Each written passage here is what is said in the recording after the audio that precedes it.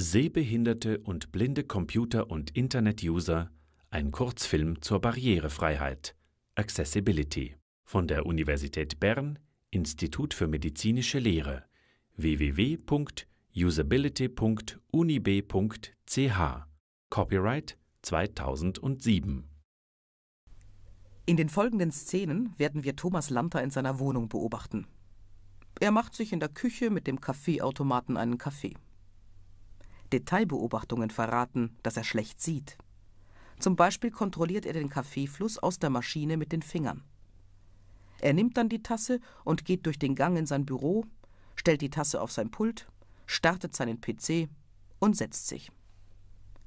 Sobald der Computer bereit ist, startet er das Programm Zoomtext und stellt die Farben auf Invers, um dann im Outlook E-Mails zu lesen, die er sich zusätzlich vom Screenreader vorlesen lassen wird. Während dieser Szenen erzählt die Off-Stimme die Synopsis dieses Films. Computer und Internet sind auf den ersten Blick vor allem visuelle Medien. Sehbehinderte und blinde Benutzer, die den Bildschirminhalt nur schlecht oder gar nicht visuell wahrnehmen können, setzen technische Hilfsmittel ein. Diese werden in diesem Film vorgestellt. Damit diese Hilfsmittel effizient eingesetzt werden können, müssen die Informationen in Programmen und Internetseiten semantisch und technologisch korrekt aufgebaut sein. Man spricht von Accessibility. Der deutsche Begriff heißt Barrierefreiheit. Thomas Lanter hat sich gerade einen Kaffee gemacht. Er hat krankheitsbedingt sein Augenlicht fast ganz verloren. Auf einem Auge ist er blind, auf dem anderen hat er eine Restsicht von 2%. Für normal sehende Menschen ist es schwierig einzuschätzen, was eine Restsicht von 2% bedeutet. Thomas Lanter kann sich in Räumen und im Freien orientieren, aber die Gesichter von Menschen nicht erkennen. Bildschirminhalte kann er in starker Vergrößerung und ausgewählten Farbkontrasten ablesen. Wir durften Thomas Lanter besuchen und uns seinen Zugang zu Computer und Internet vorführen lassen. Im Verlauf des Films werden wir Jörg K. Thomas, einem blinden Computer- und Internetbenutzer, über die Schulter schauen. Wir danken Jörg K. Thomas und Thomas Lanter für die Bereitschaft, uns ihre Computernutzung zu demonstrieren. Abwehrwerkzeug. Voice over E. Frauen holen deutlich auf. Deutsche nutzen Webtelefonie am Heurichten. Immer mehr Frauen nutzen Mobiltelefonie. Foto. Signale. Düsseldorf. D-24. Oktober 2007. 13 Uhr 55. Wie hat sich Ihre Sehbehinderung entwickelt? Also, ich, habe mal normal gesehen. Ich hatte einen Job, gehabt, alles normal. Ich bin sogar Auto gefahren, Militär gemacht und so weiter. Und in der Zwischenzeit ist es einfach so, dass ich einem Auge, im rechten Auge ganz blind bin. Also gar nichts gesehen. Und im anderen ähm, sehe ich, man sagt dem Zählen. Also ist unter 2%. Also die Frage, mehr sehen Sie da zwei Finger, wie viele Finger sehen Sie? Also für den P am PC arbeite ich mit dem Zoom-Text. Äh, man sagt, heißt genau Zoom-Text Reader. Ich habe jetzt gerade die neueste Version, die brauche ich. Das ist 9.1. Das heißt, mit der kann ich mein Defizit entsprechend das ausbalancieren. Ich brauche jetzt invers. Ich mache aus allem schwarz, mache ich weiß. Und was weiß ist, mache ich schwarz. Und so sehe ich es äh, optimal und kann eigentlich am Computer arbeiten, wie du und ich, also wie jeder andere auch. Äh, es kann aber sein, dass andere Leute zum Beispiel irgendwie mit Rot oder andere Farben haben, dann kann man die Software auch äh, entsprechend ein persönliches Bedürfnis ähm, einstellen. Während dieser Ausführungen ist Thomas Lanter im Internet gesurft, unter anderem auf der Startseite von Google. Im Fokus unserer Kamera waren die Bildschirminhalte. Was in diesen Sequenzen auffiel, ist, dass durch die inverse Farbeinstellung Googles Hintergrund schwarz anstatt wie gewohnt weiß war und dass die Bildschirminhalte stark vergrößert dargestellt wurden, so dass jeweils nur ein Teil der jeweiligen Internetseite auf dem Bildschirm Platz hatte. Ein Viertel oder ein Achtel. Trotz dieses kleinen Ausschnittes erlangt Thomas Lanter in Kürze den Überblick auf einer Seite indem er durch Mausbewegungen und Tastenkombinationen die Position dieses Ausschnittes sehr schnell über die Seite verschiebt. Auch den Zoom-Faktor stellt er dabei häufig um. Nun wird Thomas Lanter die Internetseite der Zürcher Kantonalbank vorführen und auf einen Kompromiss in der Navigation aufmerksam machen, die für ihn nur on mouse over gut sichtbar ist. Des Weiteren wird er auf ein Bild hinweisen, bei welchem der Alternativtext fehlt. Das ist mehr oder weniger die erste Bank, wo, wo Zertifikate für Zugang für alle. Die Internetseite der Zürcher Kantonalbank ist weitgehend barrierefrei und wurde von der Organisation Zugang für alle zertifiziert. Gibt es immer einen kleinen Kompromiss.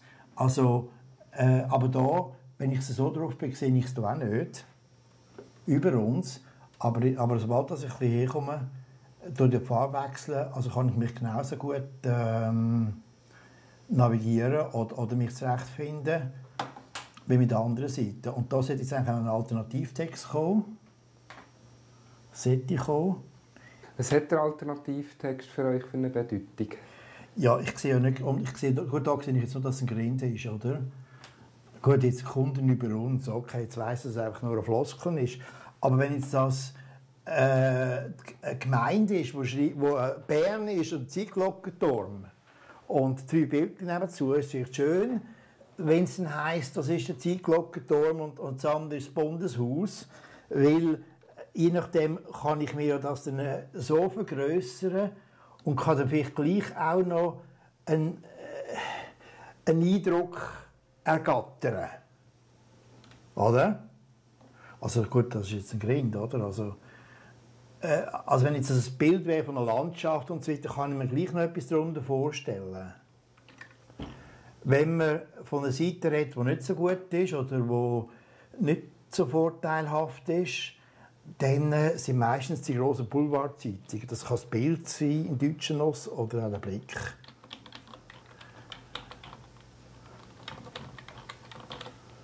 Äh, Blick, ich habe das Gefühl, es falsch. Blick, das ist richtig, oder?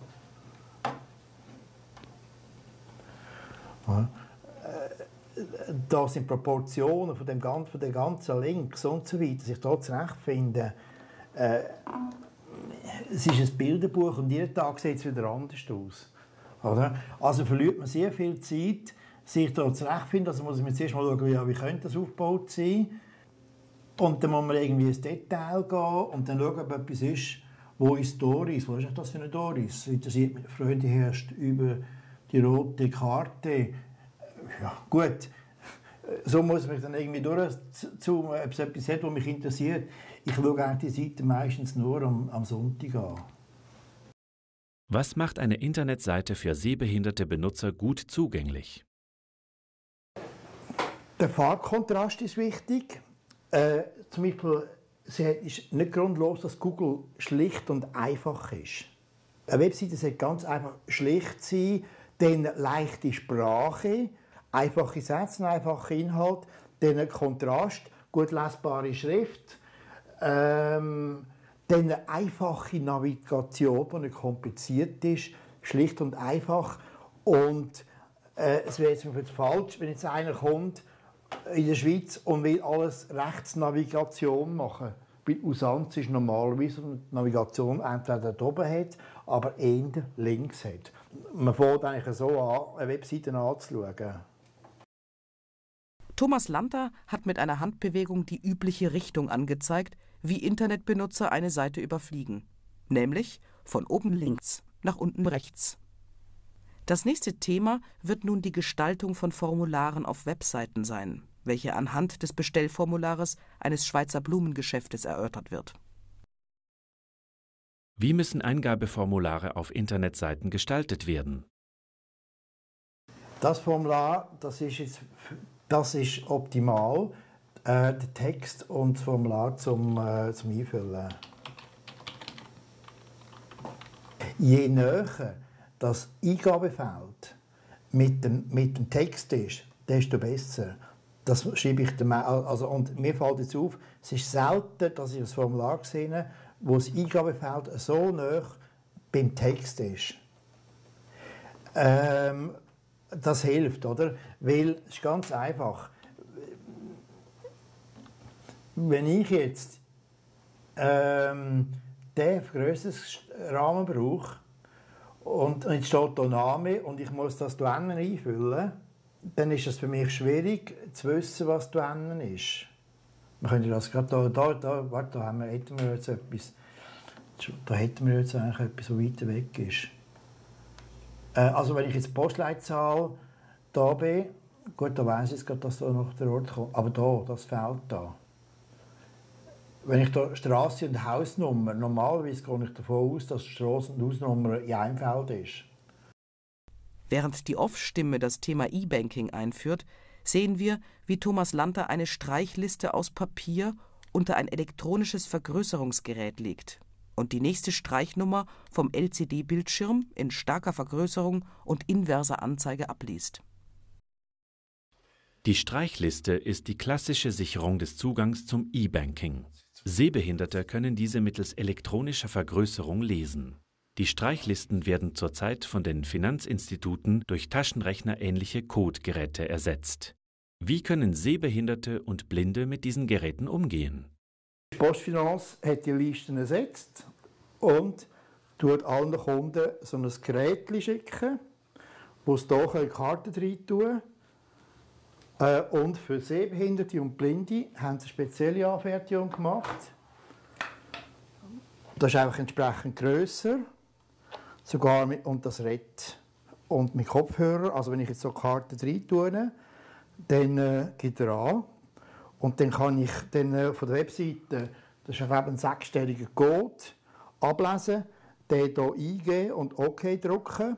Und nachher meine PIN, die ich im Kopf habe, reingeben und noch einmal OK drücken. Und dann äh, kann ich auf der Repetiertaste dass so manchmal der neue Code, sechs- oder achtstellige, so manchmal abrufen wie ich will. Das ist das, was die normalen Kunden bekommen haben. Und das ist das Gerät so Welten. Für Sehbehinderte und Blinde machen Vorleseprogramme, sogenannte Screenreader, den Bildschirminhalt wahrnehmbar. Weg mit dem Brett. Wie ein Brett empfindet man aber auch diverse Barrieren, vor allem im Internet, die wie ein Schild mit der Aufschrift Zutritt verboten wirken. Abreader-Werkzeug. Microsoft bündet Kommunikation in einem Postfach. Unifeed Kommunikation ermöglicht Kontakt. Also im Gegensatz äh, äh, zu einer Blinden tue ich mein Sehrest nur mit meinem Sehrest arbeiten. Bloß natürlich mit dem Gehör. Beim Blinden ist, das ist wie eine Welt für sich. Das ist ganz anders, weil der kann ohne Bild, der kann den Bildschirm abschalten oder? Und, und der kann so surfen. Weil er auf der einen Seite hat er, ähm, hat er Prellzeilen, wo er kann, äh, spüren genau, das werden wir noch gesehen bei einer anderen Person, äh, wo, wo er kann quasi das wie abtasten mit den Fingern. Kenne ich nicht, ich habe es schon mehrmals gesehen, ist sehr eindrücklich. Die Kamera wechselt nun den Standort und ist im Büro des blinden Computerbenutzers Jörg Katomas. Er sitzt in den folgenden Szenen an seinem Pult und arbeitet am PC. Auf dem Pult stehen ein Notebook, dieses etwas abseits, weil ein Bildschirm für Jörg Katomas unwichtig ist, und vor Jörg Katomas eine zusätzliche Tastatur. Diese Tastatur steht auf einem weiteren Peripheriegerät, dem Alva Braille Terminal welches am vorderen Rand der Tastatur eine Braillezeile ausgibt. Jürg Katomas steuert den PC über die Tastatur und liest auf der Braillezeile. Geben Sie den Namen eines Programms I, S, Wort. Jörg Katomas, blinder Computer- und Internetbenutzer. Das Webnest Center Entwicklung, Windows Internet Explorer 21%, 100%. Drücken Sie Eingabe für den Formularmodus. Von Eingabefeld. Der Hilfsmittel mit Sprachausgabe und Braillezielen schön verfolgen, was läuft. Linkfeld 2. Aufholen von Zeitungen 3. Weil da liest mir immer alles vor und ich sehe auf der Brailleziele auch noch gerade, was die aktuelle Ziele ist. In Überlassen ausführen Dialogfeld geben Sie den Namen eines Programms. I, S, Wort. W,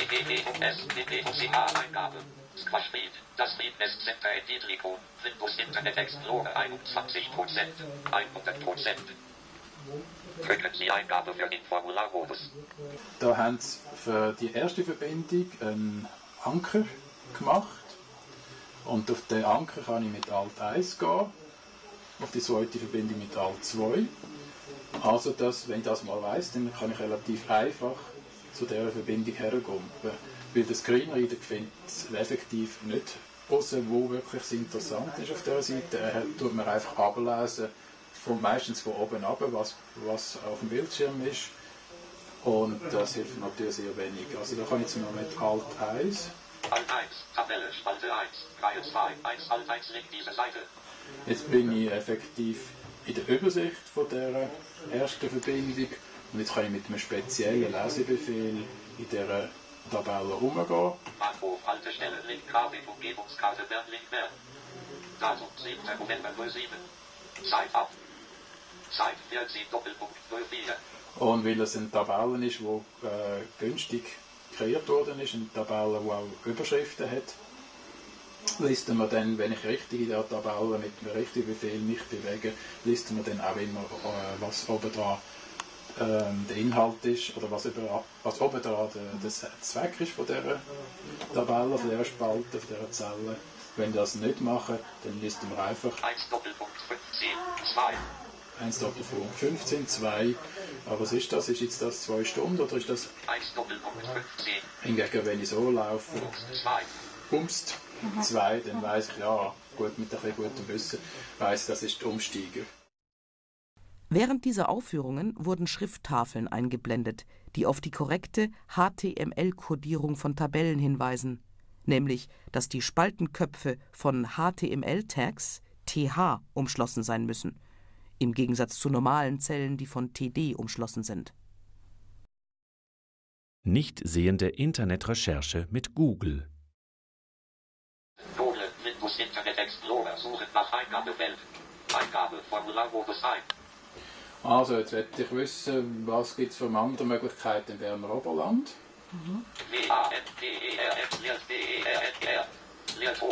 E-R-N-A-N-D. Und auch da ist es wieder schön, ich kann einfach mit Enter die Suche starten. Ich muss da nicht x-mal Tab drücken, bis der Sucheschalter äh, oder Link ähm,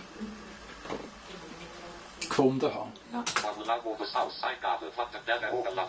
Google Suche, Seite hat 101 Überschriften und 341 Links. Wattenberger Oberland. Google Suche, Link anmelden, Link, Google Weblink, Bilderlink, Grußlink, Newslink, mehr Suche, nach Eingabefeld, Wattenberger Oberland, Suche, Schalter, Link, erweiterte Suche, Link, Einstellungen, Suche, Auswahlschalter aktiviert, das Web-Auswahlschalter nicht aktiviert, Seiten auf Deutsch, Auswahlschalter. Ah, da wird nicht das Problem. aktiviert, Seiten aus der Schweiz, Webergebnisse 1, 100 von ungefähr 287 000 für Wattenberger Oberland, 0.25 Sekunden Überschrift, Ebene 2 Anzeigen, Link, Oberland, Web, Mausover, Mausover, regional, aktuell, schnell, Mausover, Mausover, Adressen, Links, Forum, Mausover, Mausover, Mauslink.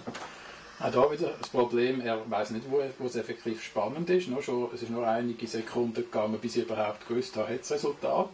Und nachher dann äh, fängt wir an, auch alle Reklamen vorlesen. Und das ist natürlich extrem schwierig nachher dann zu finden, wo, fängt, wo fangen effektiv das Resultat an. Äh, seit einiger Zeit, äh, seit etwa vielleicht einem Jahr, haben die Seiten aber ein bisschen anders gestaltet, nämlich sie haben das Resultat als Überschrift, als Header auszeichnet.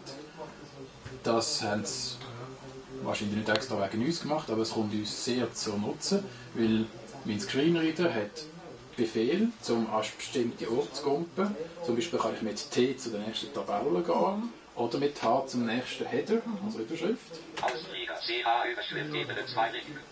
Und ich nehme schon an, das ist jetzt effektiv die erste Überschrift, die ich gefunden habe. Nach der Reklame, das wäre jetzt also schon das erste Resultat.